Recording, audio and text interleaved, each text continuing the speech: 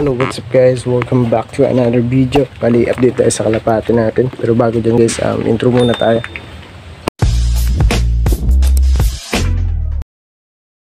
So we are back again. So hindi pa natin napakain yung kalapati. Maghahapon na.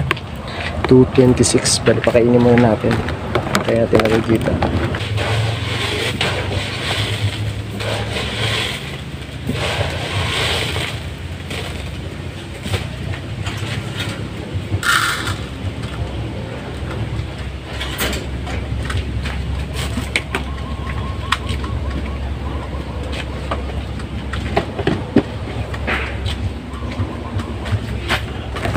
So yun guys, pakain na natin. Ngayon guys, try natin yung probiotics. Kuha mo na ako sa loob. So we are back again. So ito na guys yung probiotics natin. Yan. Malapit na maubos. Um, try natin yung mix. Tapos lalagay ko yung link sa description guys. Medyo tumaba na tayo. Yan, ako muna. Yan, so ito na guys. Yan, natin. Spain na natin.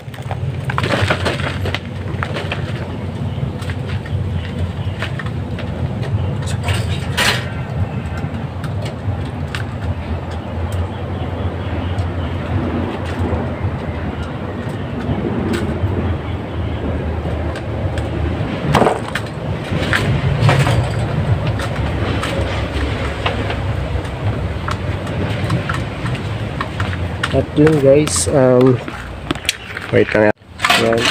Grabe na lahat eh. Nilagyan ko ulit. I-refill ko lang. So yan yung ilaki natin guys. Bali blue bar talaga siya. Sa nag-comment na checkered malayo. Malayong malayo. Sa, malabo pa sa sabaw ng pusit. Yan o. Blue bar talaga.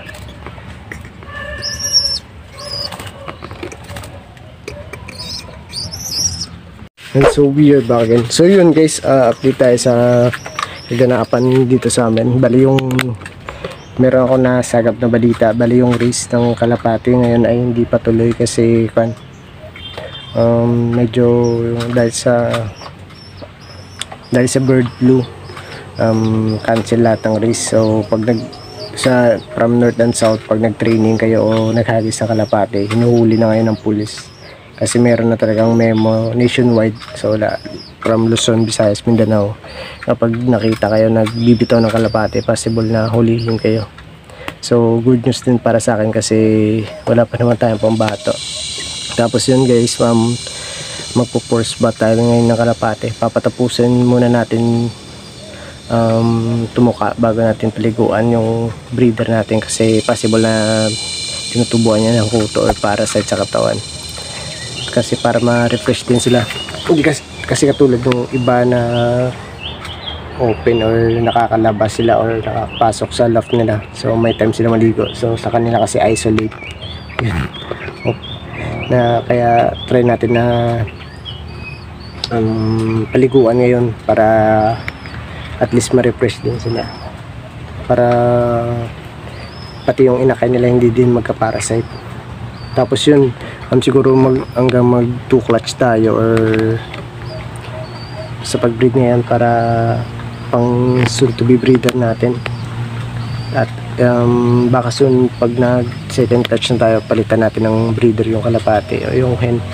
Pero yun guys papatapusin muna natin tumuka bago natin pa paliguan o force bath. So yun time check tayo 232 um, hapon na natin napatuka kasi nag-vlog tayo about sa bike natin check. So tinahimin ko din na pagpatuka para at least kan makita nyo din yung kalapati. No, nakita nyo din sa kusubo. Pero yun guys update nyo lang kayo pag tapos na tumuka. Para maka-post ba tayo. Tara. Guys hindi tayo nakabili ng pang flyers talaga. Naka na feeds kasi naubusan na. Bali concentrate na lang to. Ang mahal pala ng concentrate na sa 36 pesos na lang. Pero okay lang yun guys kasi breeder ko lang naman. Pero pag flyer dapat ka na pang flyer mix talaga so may konting pellets lang ito yung nakaraan na hindi ko naubos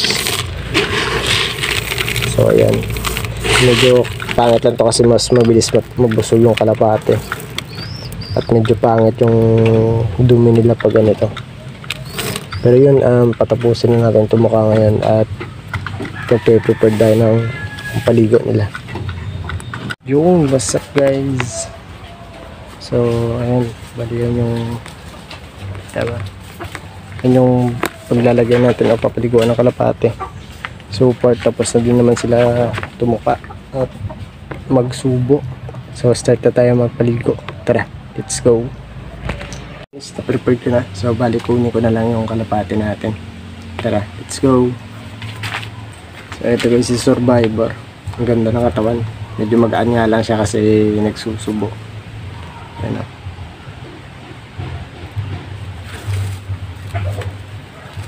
Sobrang ganda ng balihibo niya ngayon. oh.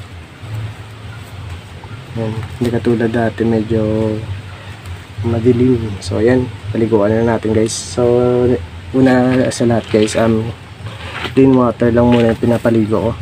Ah, nakalimutan ko lagyan ng asin sana. Pero okay lang yan guys para at least malamigan yung katawan nila.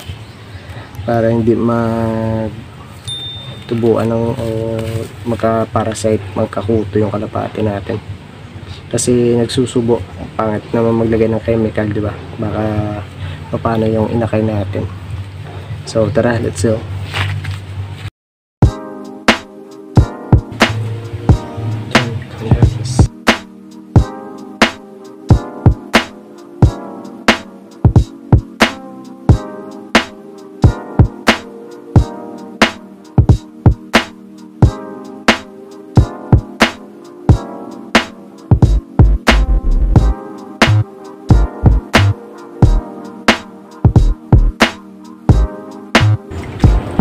So yun guys, um, medyo naglagas nga lang siya ng balihibo kasi parang nagmumulting siya. Yan o, dami na lahat.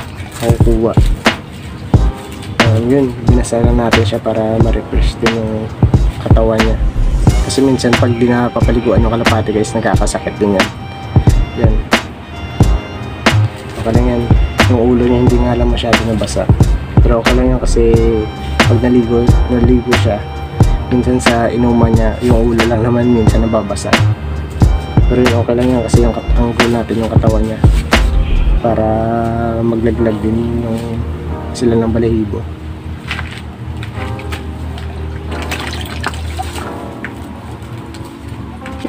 So ito guys si si 300k medyo pitsuhan pa rin siya pero okay yung katawan niya guys. Solid kasi apple body kasi siya. Karamihan sa mga apple body magaganda yung muscle. Yung build up muscle nila. Kaya nga lang yan ah, nabas yung buto niya sa dibdib. So ayan paliguan na natin guys para at least ma-refresh din siya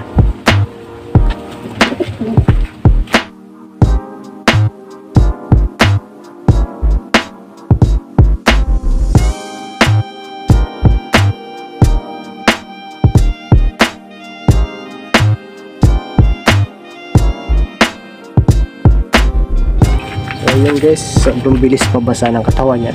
Yun nga lang medyo dumumi siya. Yan. Pero okay na yan para ang goal lang natin ma mabasa lang naman yung katawan niya. So dito na part medyo mainit pa yung kilikili niya. So try natin ulit paliguan. Yan. Medyo good naman siya guys. Um, so yun, binasa lang natin para at least ma-refresh sila kasi ilang buwan din sila hindi nakaligo eh. Siguro mga start ng May hindi ko napaliguan May, June, July. So yun. Dapat kailangan din nila maligo maligo as at least once a month. Kasi nung nakaraan na umiitlog sila kaya hindi ko lang pinaliguan. Tapos malaki na din yung inakay nila so yun. Ito yung mga baligo ni Survivor. Yan dami na lagas. So yan so try natin kunin guys yung inakay natin. Yan o So ayan yung pinakay natin guys. Blue bar talaga siya. Ayan nag Ayan. Laki niya na guys. ah.